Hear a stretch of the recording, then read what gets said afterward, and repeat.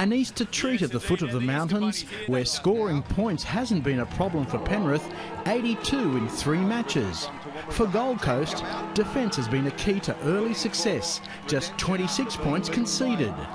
Within a handful of minutes, the Titans' defence was breached by Tom Humble, but the Panthers' joy was short-lived. Manu goes through, make contact with Bird, and that will be no try.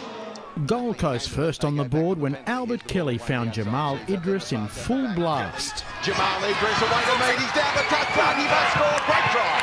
Gold Coast in, they lead by 4-0. Yeah, this try is a great example of timing your run to perfection and coming onto the ball with speed. You see Albert Kelly, he brings Jamal Idris on and he times his run to perfection. Comes with depth, it comes with speed and positions his winger perfectly. Luke Walsh stepped through spongy defence but lost the ball in the goal mouth, stripped by a desperate Titans defender. Greg Bird comes from behind, knocks it down. Gold Coast lucky to keep the Panthers at bay when Brad Tighe couldn't hold on with the line gaping, followed by Idris and his bear hug on Lewis Brown. Great tackle, Jamal Idris on Lewis Brown, try saver. There was no defence for Bird's barge. Oh, he's there, Bird's got it down. That's incredible. Bird caught the nappy. For the third week in a row, the Titans held their rivals scoreless at the break. At half time, Gold Coast 12, Penrith nil.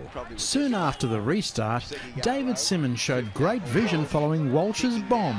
Simmons is coming in, palms it back, beautifully done to Naiqama, who scores a try. That was outstanding. Great work from David Simmons because he knew exactly what he was doing. Albert Kelly felt he had clear space ahead to score. Out wide to Mead, he's down the touchline, he's only got the fullback to beat, he's got Kelly in support, Kelly, he streaks away, Segeyaro, try saver, held him up. On the hour, the Titans created extra breathing space. Sezer, short ball, beautifully done Zillman, Michaels comes back on the inside, he's almost there, and I think momentum gets him into the in-goal area. Yes it is, it's a try.